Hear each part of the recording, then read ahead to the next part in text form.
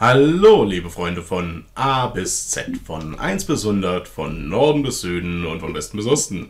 Ich bin euer Nixon und das hier ist Let's Show Armor Games auf der Suche nach dem ultimativen Browser-Game. Yeah. Ja, und heute habe ich mir hier Hexaturn rausgesucht. Ich war so im Moment ein bisschen die Puzzlespielschiene, also das letzte war als Puzzlespiel ausgeschildert, auch wenn es nicht unbedingt hinkommt. Und das hier, ich habe mal eben kurz reingeguckt, es ist wirklich ein Puzzlespiel und wir gucken jetzt einfach mal. Tut mir leid, wenn das Video jetzt irgendwie sehr komisch aussieht, aber das, ähm, ja, wie, war Glasch. Ähm, das Spiel hat ein seltsames Format. Eher so ein Format von einem Handy, das ihr hochkant haltet. Das heißt, ich kann das nicht wirklich irgendwie vernünftig hier strecken für einen PC. Das ist auch der Grund, warum ich reingeguckt habe. Ich schneide dann halt das Unnötige ab, oben und unten, und wir konzentrieren uns auf das, was relevant ist.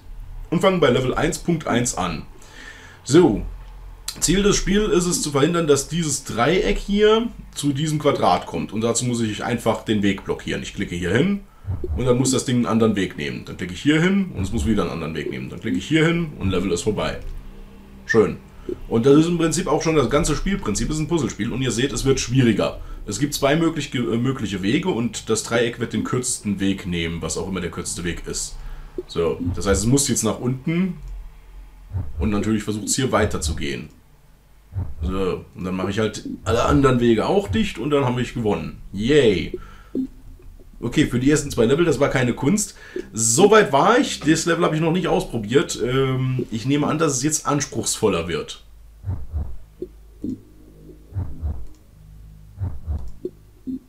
Okay, soweit, so gut. Da kommst du schon mal nirgends hin. Da kommst du auch nicht hin und da kommst du auch nicht hin. Boah, bin ich so gut. ja, mal gucken, wie lange es gut geht. Ich habe nämlich überhaupt keine Übung in solchen Spielen, obwohl es ja eigentlich was total Logisches ist oder so, aber ja, mangelnde Übung.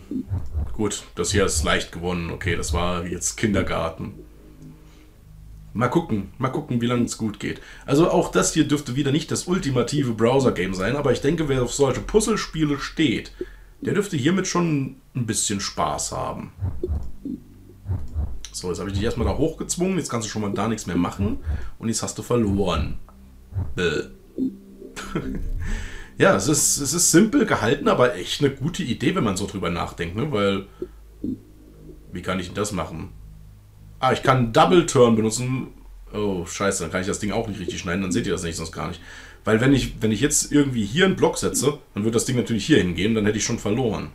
Also da draufklicken, dann darf ich einen doppelten Zug machen. So. Und dann ist es aber auch einfach zu gewinnen. Hm. Komisch. Komische Logik. So, auch hier habe ich wieder die Möglichkeit, einen Double Turn zu machen und if you stuck, you can use extra power up to was? Es wäre geil, wenn du mir das jetzt mal gesagt hättest, also wenn du den Tipp nicht hättest verschwinden lassen, weil ich habe keine Ahnung, was ich da jetzt anklicke. Extra Power-Up für was? Naja, gut. Ähm so, und wenn ich jetzt einen Double-Turn mache, dann habe ich eigentlich schon so gut wie gewonnen, oder? Also ich bin schon ein Double-Turn gewesen. Dann habe ich jetzt verloren, würde ich mal so sagen. Ne? Da da, da da. Ja, also nochmal zurück. Achso, ähm. Ja, wenn ich wüsste, wofür dieses Power-Up ist, es war zu schnell ausgeblendet. Ich könnte ja eigentlich so machen. Und dann so. Und dann reicht es immer noch nicht, ne? Egal wie ich es mache. Jetzt habe ich sogar drei Möglichkeiten, wie ich es mir verbaut habe. Scheiße. Was wäre eine intelligente Lösung? Vielleicht so? Geht er hier hin? Geht er dahin, dann habe ich immer noch verloren. Okay, ich sehe gerade nicht. Wenn, wenn ich wüsste, wofür das Power-Up ist. Was bewirkt das Power-Up? Leute, das wäre echt einfacher dann.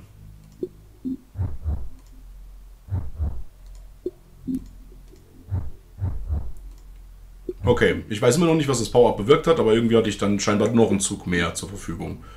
Meinetwegen. Oh, okay. Schwierigkeitsgrad steigt und steigt und steigt. Egal in welche Richtung, nur zwei Bewegungen und das Ding wäre da. Also wie schneide ich es am cleversten ab? Wenn ich hier und hier was mache, dann kann es schon mal nicht da hoch oder so. Also nicht, nicht so einfach, aber... Ja. So, und jetzt muss ich hier... Und dann habe ich aber trotzdem verloren. War also nicht die Lösung. Okay, wie kriege ich dich eingesperrt? Und wieso habe ich jetzt keinen Double Tap mehr? Achso, habe ich, okay. Was, was bewirkt dieses Power-Up? Man weiß es nicht. Und wie halte ich dich sinnvoll auf? Es gibt so viele Möglichkeiten, wohin sich das Ding bewegen kann. Das ist ja das Problem. Egal, wo ich jetzt was zumache, dann geht es halt einfach in eine andere Richtung. Ne? Wenn ich jetzt hier zwei hinsetze, dann geht es halt in die Richtung oder in die Richtung oder in die Richtung. Und dieses, ich setze irgendwo dazwischen, funktioniert ja auch nicht. Ich setze jetzt einfach mal so und gucke, was passiert. Okay. Wenn ich jetzt so setze, dann geht es da hoch und dann hat es automatisch gewonnen. Wenn ich so setze, gleiches Spiel. Ist schon vorbei, ne? Ich kann schon nicht mehr gewinnen. Ich muss die beiden hier dicht machen, aber dann, ja, bin ich halt so in der Sackgasse. Oh Leute, ich sehe jetzt gerade echt keine Lösung hierfür. Wenn ich immer so einen Doppelzug machen könnte, dann wäre es kein Problem.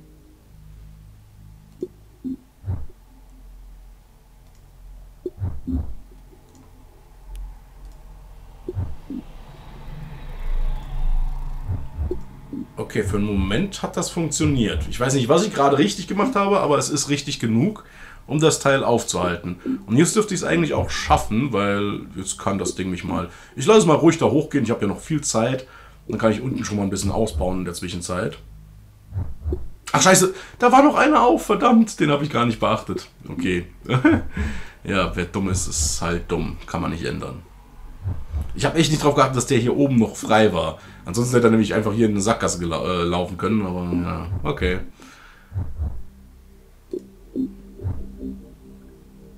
Das habe ich nicht verdient. Also, dass ich das Level gerade geschafft habe, war wenig verdient, aber nehmen wir einfach mal so hin. Gucken wir mal, ob wir noch eins schaffen. Und ich weiß immer noch nicht, was der Unterschied ist zwischen den Power-Ups. Und ich weiß auch nicht, was ich hier mache, um nach Möglichkeit das Ding aufzuhalten. Machen wir mal so. Und dann hat es mich da unten, genau. Und dann schaffe ich es schon nicht mehr, ne? Ist schon vorbei.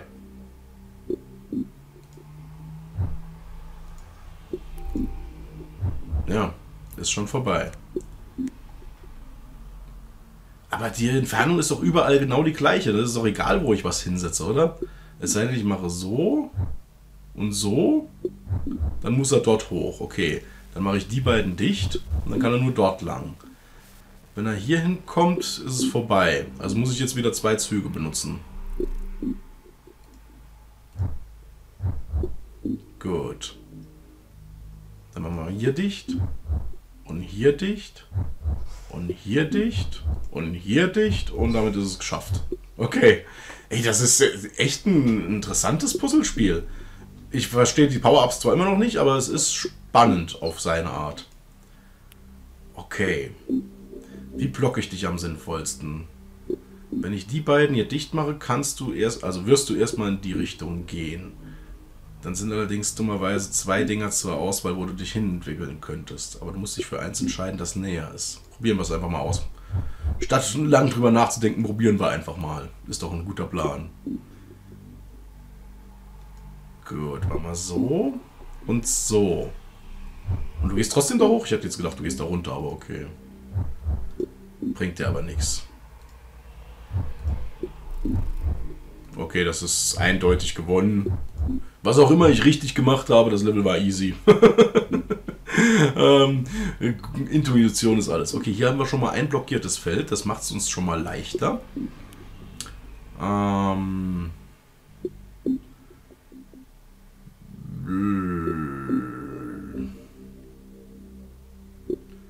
Wenn ich hier was setze, bewegt es sich wahrscheinlich in die Richtung. Es gibt viel zu viele Möglichkeiten, wo er hin kann. Ne?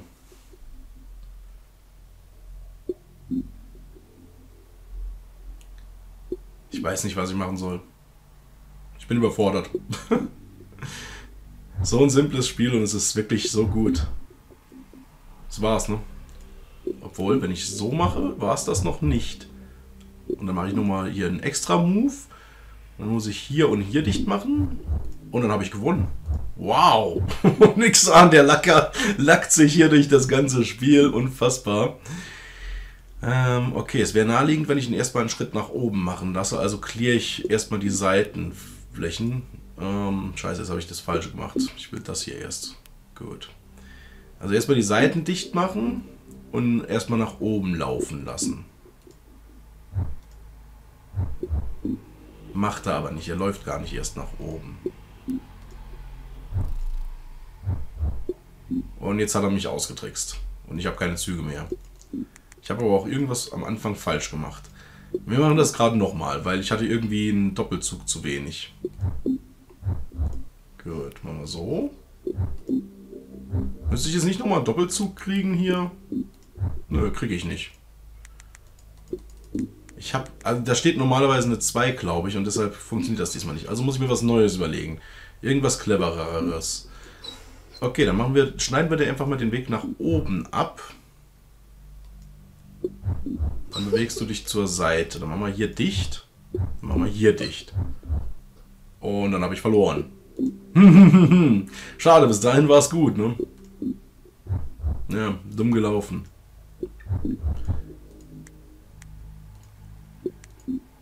Okay, neuer Plan. Ich mache dir erstmal den Weg nach oben dicht. Gucke, wo du hingehst und mach hier dicht. Und dann mache ich die beiden dicht. Und dann habe ich genug Zeit, hier hinten dicht zu machen, dann habe ich gewonnen. So, Feierabend. ja, nicht lange drüber nachdenken, äh, denken, einfach ein bisschen rumklicken und man wird schon auf irgendeine Lösung kommen. Ich muss sagen, für so ein Puzzlespiel für zwischendurch, wenn ihr beim Zahnarzt sitzt oder was weiß ich was, ist das schon eine coole Sache. Mach mal hier zu. So, dann gehst du da runter. Dann mache ich dir mal hier beide Seiten dicht. Dann mache ich dir noch hier dicht und noch hier. Und dann brauche ich nicht mal meinen Doppelzug, den ich noch übrig hätte zu benutzen. So einfach ist das. Ne? Nix an das ultimative Genie, das hier das, die KI völlig überfordert. Mhm. So bin ich halt mal. Gut. Gucken wir mal, ob das nochmal klappt, so ein, so ein Lacker-Move quasi. wenn ich hier hin mache, gehst du hier hin. Das stört mich aber nicht wirklich. Ja, dann mache ich mal einen Doppelzug und dann ist das Spiel vorbei. Zack.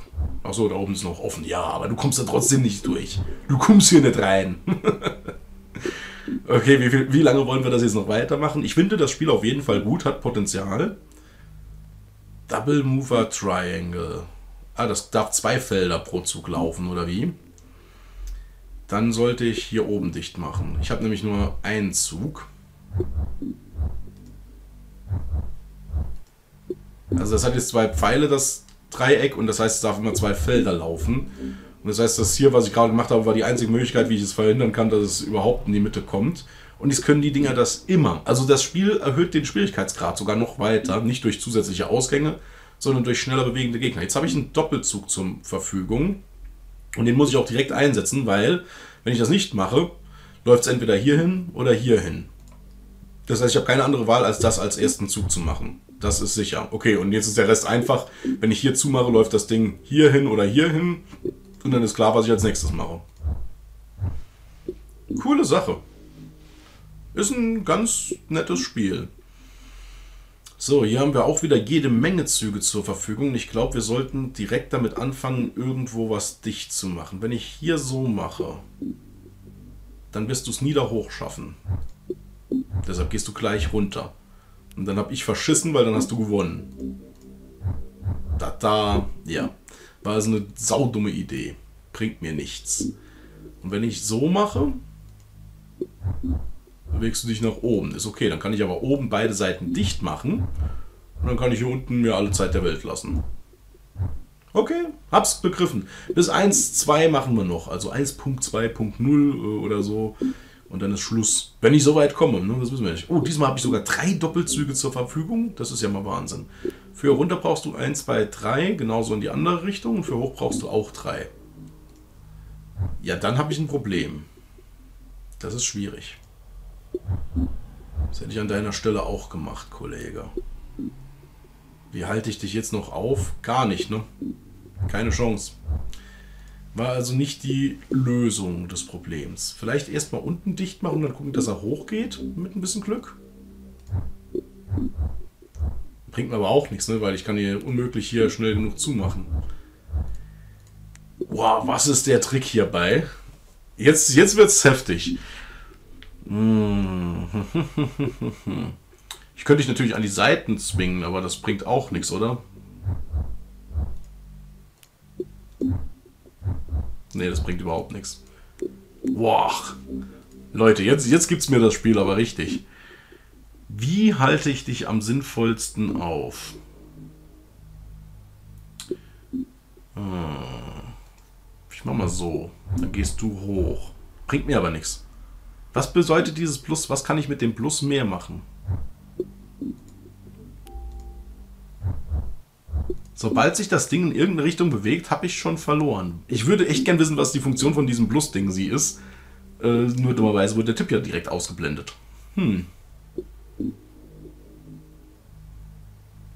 Hm. Sobald sich das Ding einmal bewegen darf, ist es schon vorbei.